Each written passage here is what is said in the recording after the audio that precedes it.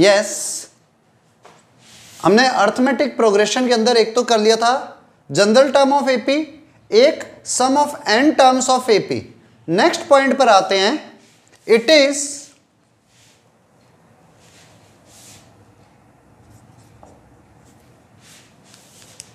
Wait heading तो blue colour से डाल देते हैं. It is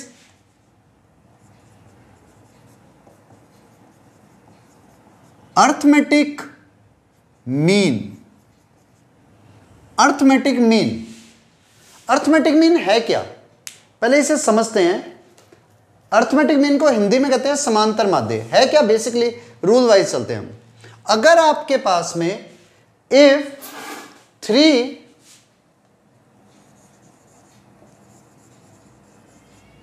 और more than three numbers are in AP.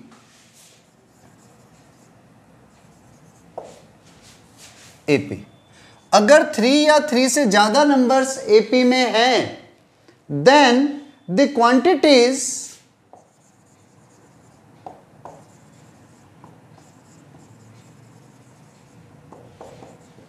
quantities between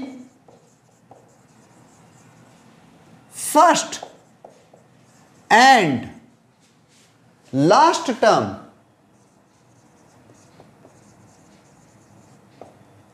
if three or more than three numbers are in AP then the quantities between first and last term first और last term के बीच की quantities are said to be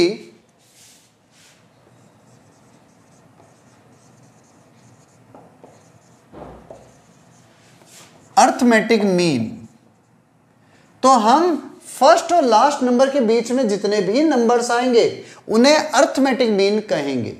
जैसे example समझो। एक minute. जैसे example से समझाते हैं। जैसे नंबर हमने ले लिए two five eight eleven fourteen seventeen and एक और ले लेता हूँ ट्वेंटी ये नंबर लिए. तो टू एंड ट्वेंटी इनके बीच में जितने भी नंबर्स हैं they are said to be arithmetic means तो five eight eleven fourteen and seventeen are arithmetic mean of two and twenty भी लिख सकते हो. वैसे तो ये सारे नंबर ही एपी में है लेकिन बीच वाले नंबर्स को आप अर्थमेटिक मीन कहते हो। ज़रूरी नहीं है कि one two three four five ही हो। सिक्स भी हो सकते थे सेवन भी हो सकते थे एट भी हो सकते थे थ्री भी हो सकते थे फोर भी हो सकते थे टू भी हो सकते हैं वन भी हो सकते। हैं तो आपके पास डिपेंड करता है कि बीच में आप कितने नंबर इंसर्ट करते हो। जैसे आपके पास कोई भी टू नंबर दिए हुए आप उनके बीच में कुछ नंबर्स को पुट करते हो। अब अगर पूरी सीरीज़ एपी बन जाती है तो ये जो स्टार्टिंग और लैंड के टू नंबर थे, इनके बीच के जितने भी नंबर होंगे they are said to be arithmetic means उन्हें अर्थमेटिक मीन कहेंगे। अब अर्थमेटिक मीन्स निकालते कैसे, उसकी बात करेंगे। ठीक है? तो अब आप लिख लो पहले एक बार इतना, फिर method to find arithmetic mean की बात करेंगे। अर्थमेटिक मीन निकालते कैसे? तो सबसे पहला हमारा पॉइंट आएगा। Number one is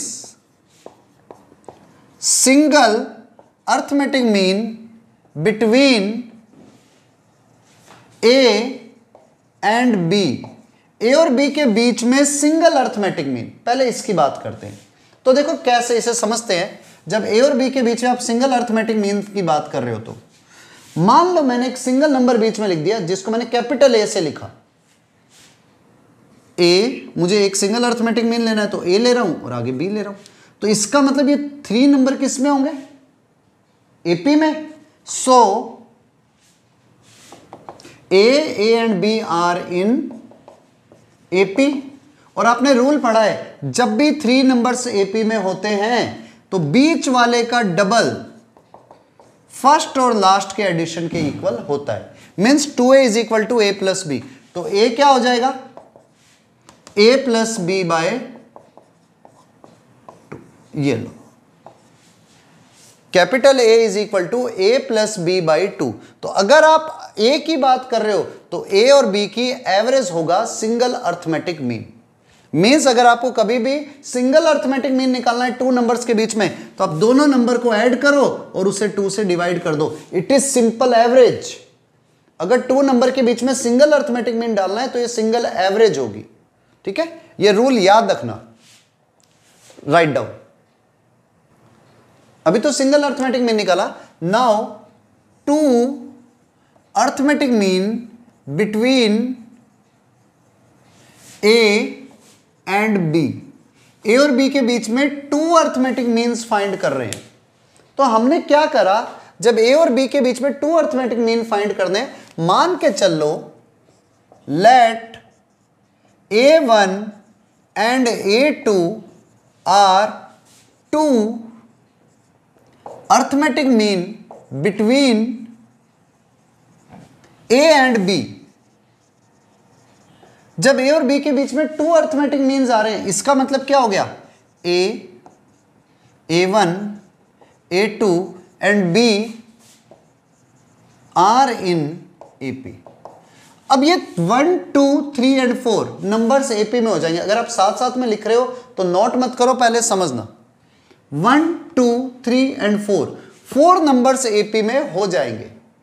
पिछले केस में तो सिर्फ़ थ्री नंबर थे तो बीच वाला नंबर इजीली निकल गया, दोनों की एवरेज अब यहाँ पर क्या करें? आप उस केस के लिए क्या करो? देखो, अगर ये नंबर फोर के फोर एपी में है तो ये वाली टर्म फोर्थ नंबर पे आएगी। Therefore T four is equal to B T four equal to B मतलब फोर्थ नंबर पर बी है। तो T four can be written as A plus four minus one into D equal to B, D is common difference, A is first term. तो A plus three D equal to B, और we can say three D equal to B minus A. तो D क्या होगा? B minus A upon three. तो आपके पास common difference निकल गया। कॉमन डिफरेंस आपको मिल चुका है, जो इनके बीच का गैप है। जब आपको कॉमन डिफरेंस मिल जाता है, और अब आपसे पूछे कि हाँ भाई, ये टर्म निकालो। तो ए वन कैसे निकालोगे? इस ए में डी को ऐड कर दो। इस ए में डी को ऐड करो तो फ़र्स्ट टर्म मिल जाएगी। तो ए वन क्या होगा? ए प्लस डी यानी कि A plus B minus A upon three आप सॉल्व करो इसे एल्सियम लेकर के। Three A plus B minus A upon three तो it is equal to three A minus A is A two A plus B upon three. तो first arithmetic mean आ गया। This one is first arithmetic mean now second arithmetic mean की बात करते हैं। A two A two is equal to A plus two D इसमें आप two D को ऐड कर दो तो ए टू आ जाएगा। So A two will be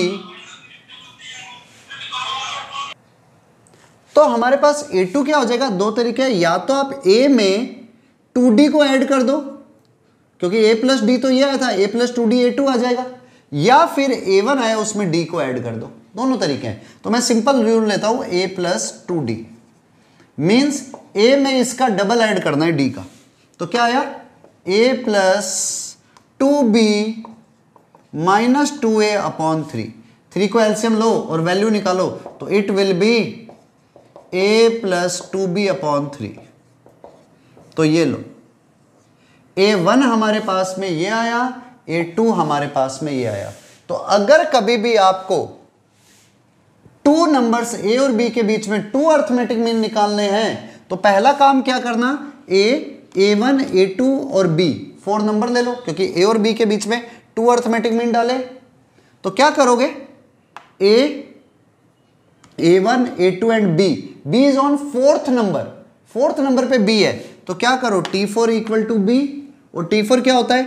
A plus four minus one into D is equal to B means three D equal to B minus A तो D equal to B minus A upon three तो D की value आ गई है. जैसे D की value आई A one निकालना है तो ए में डी को ऐड करो.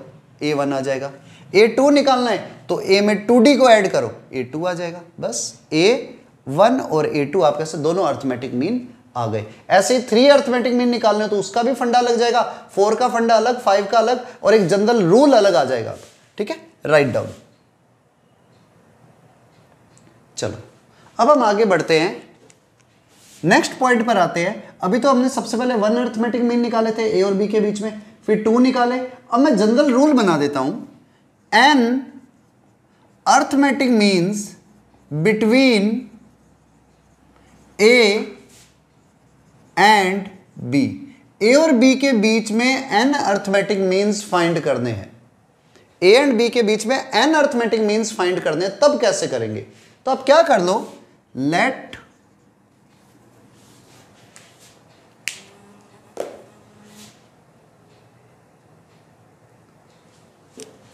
let a1 A two A three A four and so on A n are n arithmetic mean between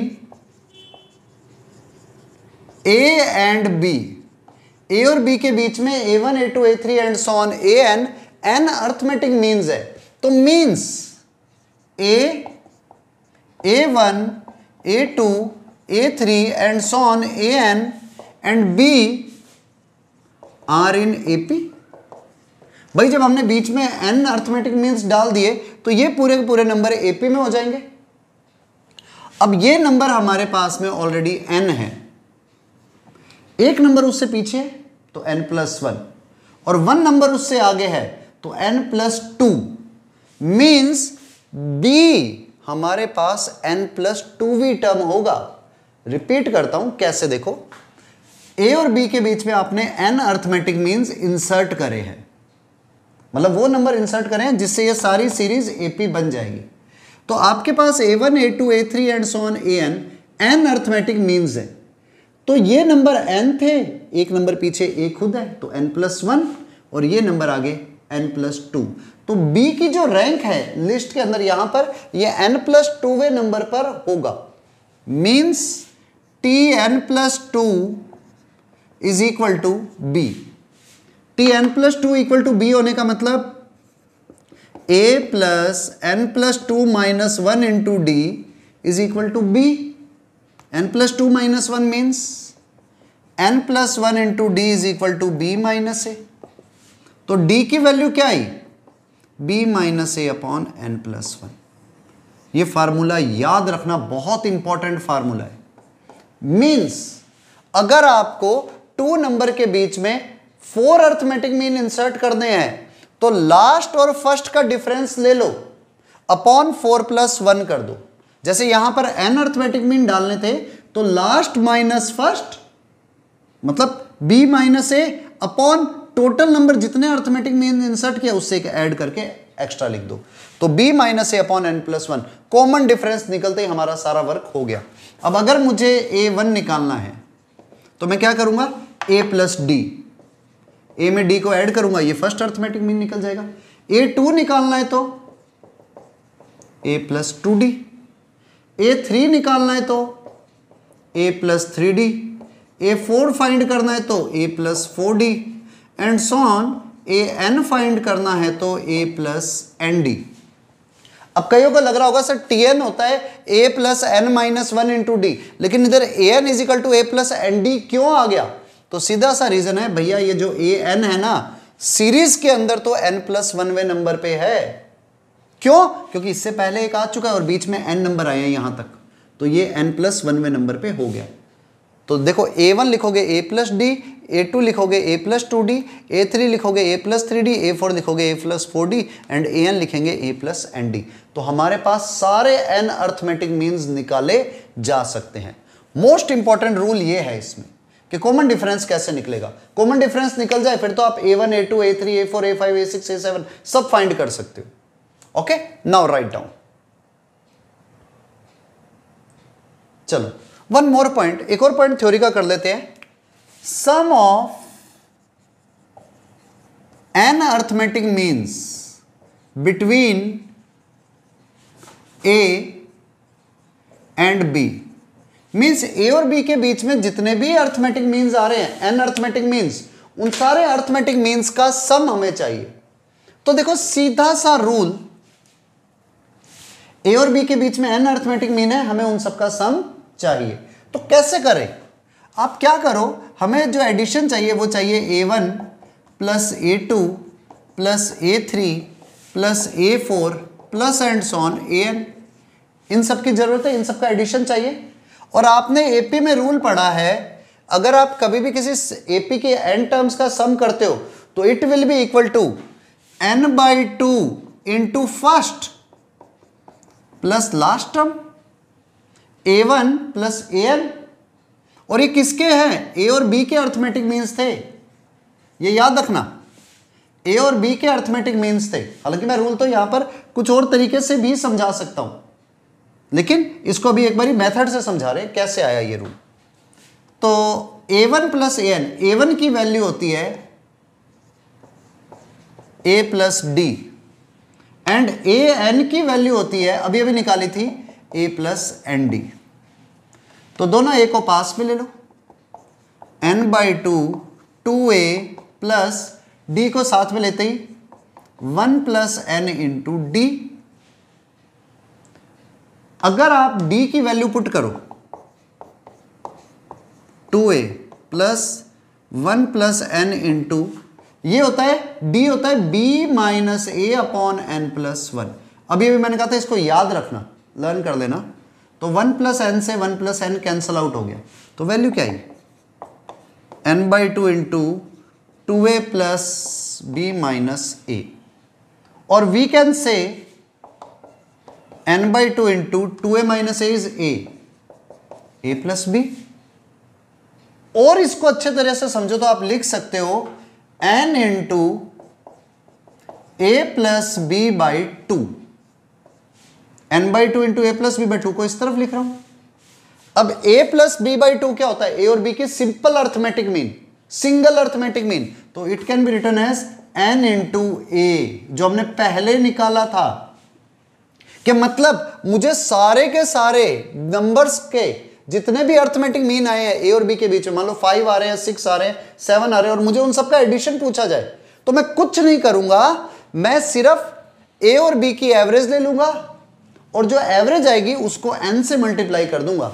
या यूँ लिख दो n into single arithmetic mean of a and b अब इसको एक एग्ज़ाम्पल से और समझ लेंगे। रिपीट कर देता हूँ, किया क्या हमने? हमसे पूछा था कि जितने भी अर्थमेटिक मीन है, उन सबका सम बताओ। A one plus a two plus a three plus a four plus and so on a n तो करा क्या? ए वन अब एन टर्म्स का सम करो, या n by two into first plus last term कर दो, बात तो एक ही तो n by two first a plus d last a plus n d दोनों ए को पास में लिख दो डी वालों को पास में लिख दो। तो क्या आया two a plus one plus n into d अब आपको पता है डी की वैल्यू होती है b minus a upon n plus one तो एन प्लस वन से एन प्लस वन कैंसिल हुआ। Two a plus b minus a आया, ये वैल्यू आ गई। टू को मैंने इसके नीचे कर दिया क्योंकि ये सिंगल अर्थमेटिक मीन होता है। तो ये आ गया एन मल्टीप्लाई बाय ए बस। बहुत सिंपल रूल है। याद रखना, इस पर बेस्ड पेपर में क्वेश्चन आ जाते हैं। हालाँकि मैं इसको दूसरी ट्रिक से भी करवा सकता था। एपी का रूल होता है कि आपके पास फ़र्स्ट और लास्ट टर्म का एडिशन करो या सेकंड और सेकंड लास्ट टर्म का एडिशन करो। रिज़ल्ट हमेशा सेम होता है। ऐसे ही थर्ड या थर्ड लास्ट का एडिशन करो या फ़र्स्ट और लास्ट का एडिशन करो, हमेशा सेम होता है। पर हमने कहा अभी उसको छोड़ देते हैं, एक बार सिंपल मेथड से प्रूफ कर देते हैं, ठीक है? इसलिए किया ये। Right down. चलो, एक सिंपल सा क्वेश्चन लेते हैं। क्वेश्चन है insert three arithmetic mean between three and nineteen three और नाइनटीन के बीच में थ्री अर्थमेटिक मीन इंसर्ट करने हैं। तो देखो, बड़ा सिंपल सा रूल समझा देता हूँ मैं पहले इसे। देखो, हमारे पास में फ़र्स्ट नंबर थ्री है और लास्ट नंबर है नाइनटीन और बीच में इंसर्ट कितने करने हैं? थ्री अर्थमेटिक मीन तो कॉमन डिफरेंस क्या होता है? B minus a upon n plus one means nineteen minus three upon three plus one 19 minus three is 16 upon four it is equal to four so common difference is four तो आपके पास first arithmetic mean आएगा a plus d means three plus four seven a two second arithmetic mean आएगा ए plus two D मतलब सीधी बात है seven में four add कर दो इलेवन थर्ड अर्थमेटिक मीन आएगा इलेवन में फोर ऐड कर दो। Eleven plus four is fifteen तो आपको थ्री अर्थमेटिक मीन निकालने थे फाइंड हो गए। तो मीन्स आपके ऐसे नंबर क्या हो गए?